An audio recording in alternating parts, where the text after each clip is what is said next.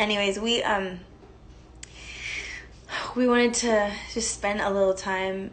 Um, this is actually really, in a way, it's not uncomfortable for me to talk about uh, the heart of the album. That's easy. I think these this form is really um, hard. I think because it feels so near to the heart that it's just hard to talk to talk about when we're not face to face. All of us. Lori's gonna tell us how. Okay. Hello. Someone's calling to instruct us. But um, okay. we want you to hear. Like I just wanted you to hear. You right now. You get a glare. I wanted you to hear Uh-huh. in my voice and as much as you can see in my eyeballs. Um, a bit of where this came from and Oh. um, honor some of the people I love Okay. most that have helped me make it. Um, I don't see it. James is saying that he's sending a request. Jason has to send a request. You guys are so patient. Honestly, we're all It just doing makes sense what you're right saying. now. We're all just in quarantine trying to do the best we can. Um, I feel so much compassion for everyone just kind of learning to relive, like you know, like relearning everything, getting out of routines and um, doing things they've never done before. For some people, like I, I was talking to Okay, so a friend yesterday about like really simple things, like people who have never even Okay.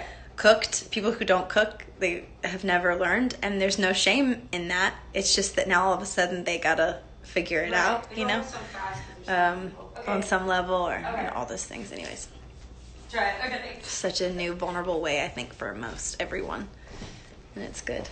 It's so precious. Did you figure it out? Um, so Jay, I'm texting you.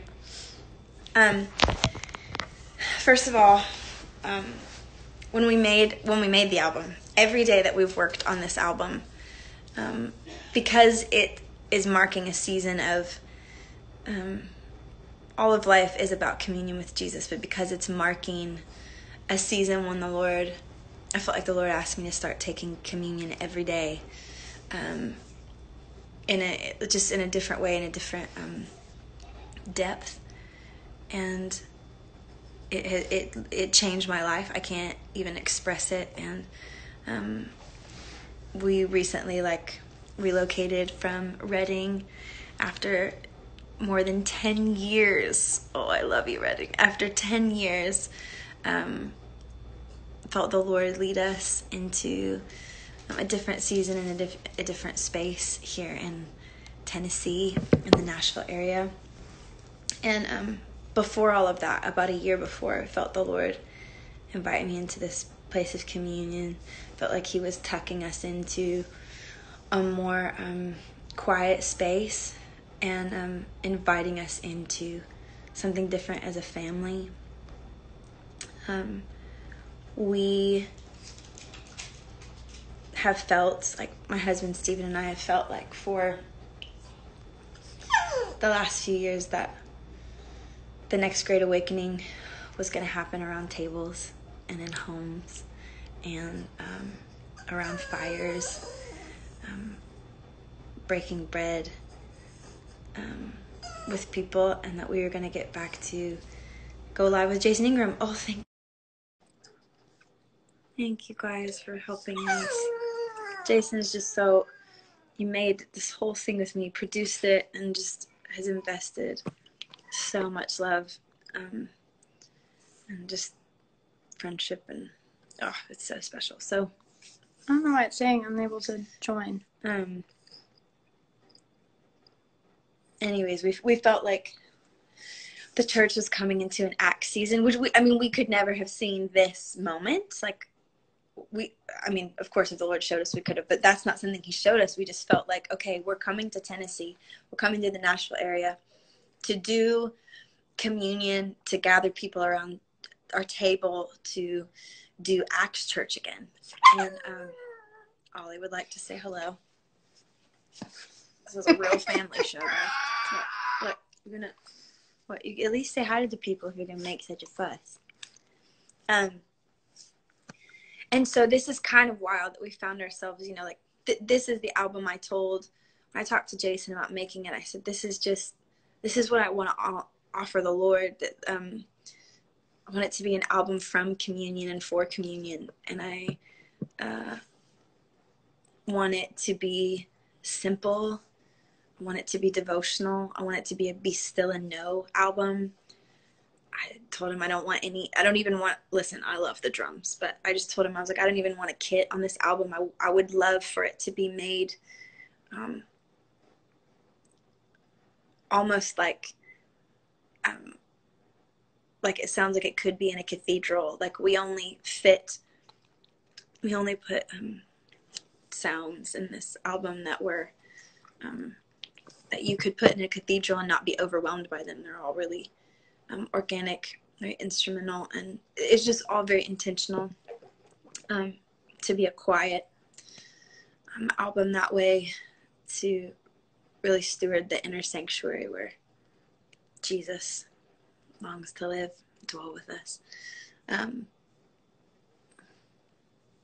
sorry, guys, I hope this is okay. It's so weird to not be able to see faces, like to only see myself. That's so uncomfortable and strange, but um, thanks for being here. Um, we started every day that we worked on this album in communion. We broke bread and drank the cup and um, got to have the most precious prayer times together and um, lot of sobbing, mostly me sobbing, a lot of tears, a lot of crying, lots of flat on my face, mascara, running or just hmm, um, no makeup at all. It just felt um felt sacred. I, I honestly didn't know we would even release it with anyone. Though can I just say that Provident is amazing. That you guys, your whole team, has just been so gracious and wonderful to us and really stewarded um, how sacred this was to us. Mm. Thank you for protecting it um, not pushing me past the place that I felt like I was not pushing me past the way I was supposed to carry it and releasing it in such a crunched time frame. Um, I just knew it needed to be released before these holy days coming into April, but we had no idea that we'd be in this season. So this album is literally for a time like this, but we didn't, you know, didn't see it happening this way. So the times, like every day, I think we spent most of the time i wish jason was here we spent most of the time like uh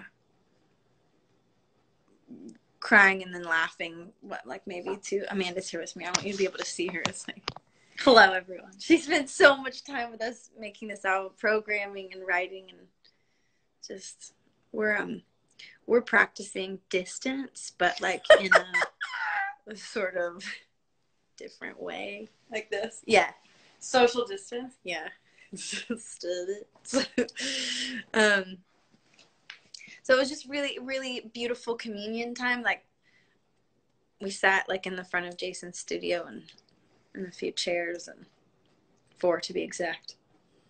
Just took a knee and read prayers. So what I would love to do is just spend a few minutes with you. There's, I think, um, there's so many things I could say, and to be really honest with you, as much as I want to have all my thoughts together and laid out for you this is like the day we're in and it's just a lot of um it's a different atmosphere. There's there's it's not like there's this crazy time to uh sit and prepare for a moment like this. I think that it's more special just because it's off the cuff. I mean we even prayed before we got on and just feel like what everybody needs is just real live communion from house to house like